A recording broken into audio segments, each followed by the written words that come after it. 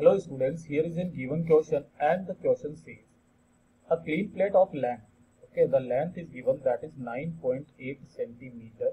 Okay, and